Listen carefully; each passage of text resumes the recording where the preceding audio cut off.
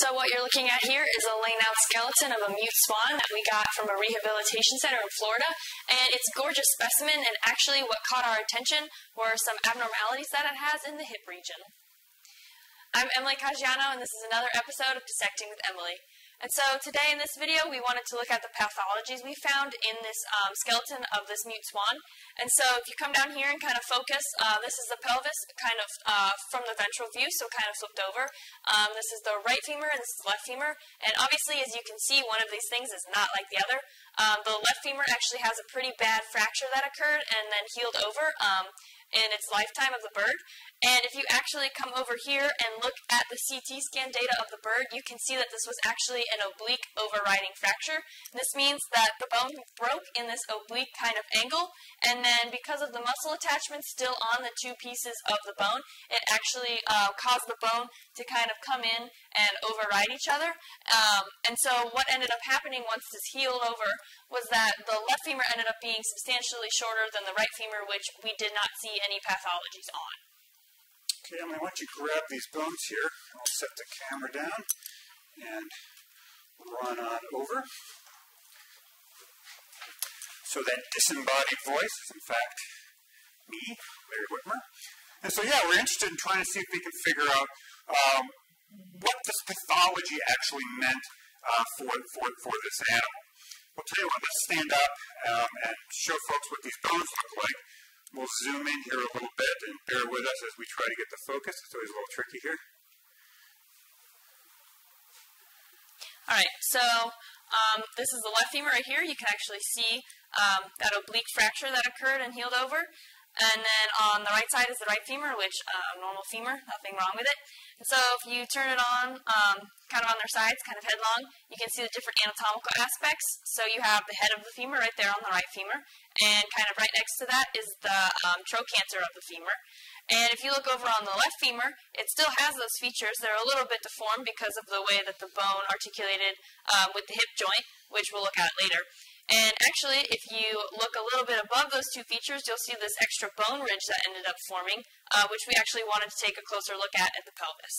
Yeah, well, let's have a look at that pelvis here. So I'll pull this up uh, right here, and so take the normal side. This is the good side. This is the right side that was actually not affected uh, by the by the pathology. I'll try to get the focus right. Is that better? Mm. Okay. So um, here is the right femur, um, and again, it has the the um, femoral head and the uh, trochanter. And here is the hip side of the hip joint. So the acetabulum or socket, and then this flange right here is called the antitrochanter.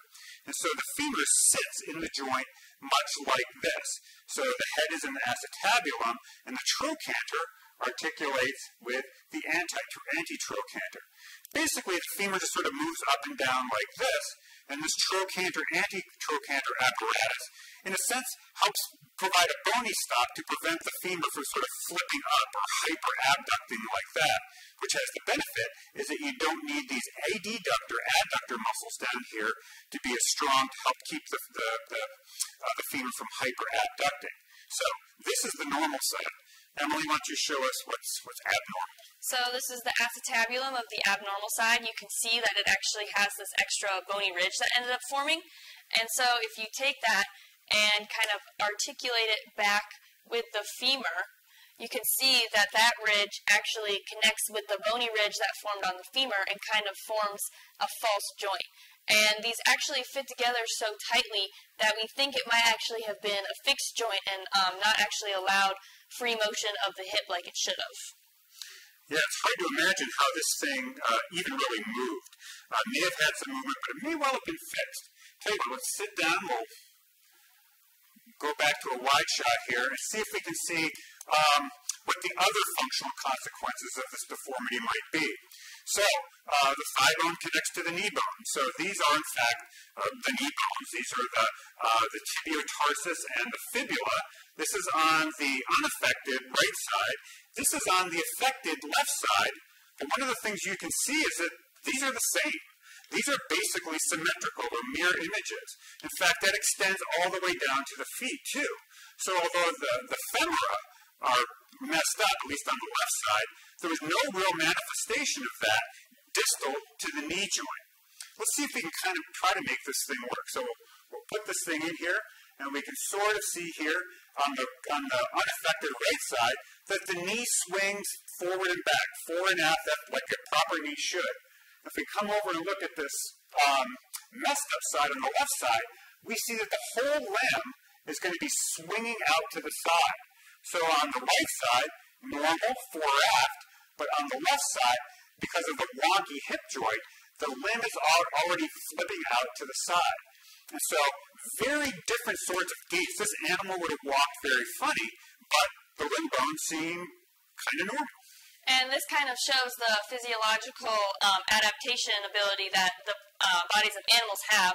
And so it's able to take some kind of abnormality that occurs in the body, and because of the plasticity that these animals have, they're able to compensate for that abnormality um, and keep the other structures normal so that the animal is still able to survive and thrive. Yeah, so hopefully you've learned from our, our poor swan here how animals can, in a sense, cope and compensate for the disabilities that these animals uh, must have had.